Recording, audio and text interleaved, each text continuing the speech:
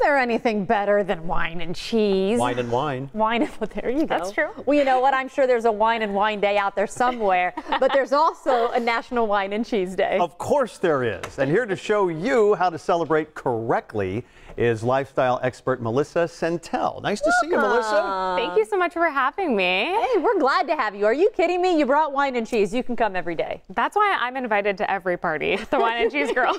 We have, uh, we, I think we have a heavy Cabernet, we have a sweet wine, and do we have a light wine? What, what do we have going so on here? uh, this guy is going to be the heaviest, most full body. That's our red for this morning. And what kind of cheese goes best with a with a, a, a lusty red wine? So I like to pair it with something that's more mild, buttery. So today we're going to be pairing it with a Colby cheese. I, I Colby. like I like Okay. Colby. And uh, see, is there like a rule of thumb? If you are doing this at home, and Jerome just was able to say exactly which wines you have, how do you present it? Is this a good like have three wines set up, lightest to darkest? Yeah, lightest to darkest is generally the rule, just so that it's more palatable for your mouth. Lightest to Um, okay.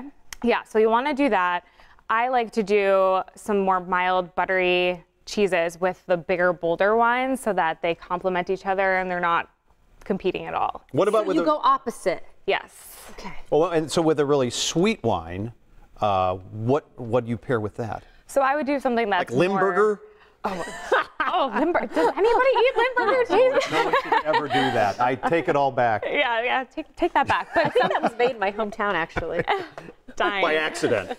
Um, Call it Limburger. But something like a blue cheese, you want to mm-hmm. douse in honey, right? So you're trying to do like that really salty, sweet balance. That's Salty and wanna sweet is good Yeah. in yes. anything. Okay, Yes, well, you know what? We've got some examples here. Let's show you how the correct way to enjoy a wine and cheese day is. I see a lot of glasses in front of me. That's always a good start. Yeah, let's get to it. Not a bad finish either. you, know what I'm, you know what I'm saying? Okay, we got about two minutes, so let's get pouring. I love so it. All light right. first. So number one, we're going to do a rosé. This is the Fleur Here, de hold, hold that right towards the, the camera there. Ta-da! There we are. Look at that. bottle. A rosé. What is rosé exactly? Is it white, red and white together, or is it a different That's kind an actual grape? myth, It is, isn't it? it is not red and white It's a together. myth. No, That I'm goes asking around. because that's what dummies like me think. So rosé is made from a different grape. It is okay. yes. Yes. Um, Could you have it. uh, pour red and white together in an emergency to make rosé? I may or may not have done that. I don't that. recommend it, but if you're down to two bottles at a party, hey, anything goes. That's what'll happen if you come to Natalie Taylor's wine Guests are demanding there's the red, rosé. there's the white, and there's the rosé. Putting it together. Okay. I love it. All right, so we're pairing this rosé with this nice cheddar. So, Okay, with this one right here? Yes, so this French White cheese, cheddar. Wow, we're getting White crazy. cheddar. Dig in there, Natalie. So this is kind of cool because this is like salty with some hints of mm-hmm. butterscotch. Oh, yeah. Mmm. Mm-hmm. Okay, we only have one minute left, so we got to do oh my some God. fast drinking. Two and eating. cheeses in one, three cheeses in one minute. That's 20 seconds per cheese. All right, there we go. Challenge accepted. All right. Here's the thing, though, we have to Not bad. recycle our glasses. Yeah, we do. All right, well, bottoms mm. up. Yeah, there we go. I'm cheating. Okay, there we go. Now we got about 45 seconds. With what do you you have the cheat. next? All right, so next we have a young Gouda. We're gonna pair that with this Auto Suave. So this drinks like a Pinot Grigio. Hmm. It's an Italian wine, and you can get it locally at Crü Cellars. And preparing that again with uh, what? This young Gouda. Gouda, with the Gouda. All right. What is Gouda cheese exactly? Gouda is Gouda.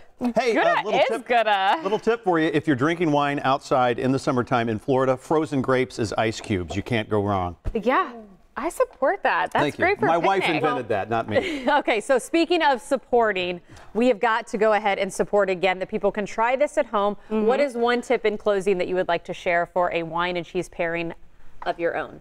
Um, I think that there's no wrong way to pair it. Essentially, when you're trying to figure out what to pair, taste the cheese first, swallow it, take a sip of wine, Mm-hmm. swallow it, then try them together. If the flavors are harmonious, then you know that you have a good pairing. But by harmonious, you could al- almost mean opposite, though, right? Well, okay, and we've got a big jive well. So we we are jiving Well well. We got to go. Thank you so much. Cheers to you. Cheers. Wine and Melissa, very good.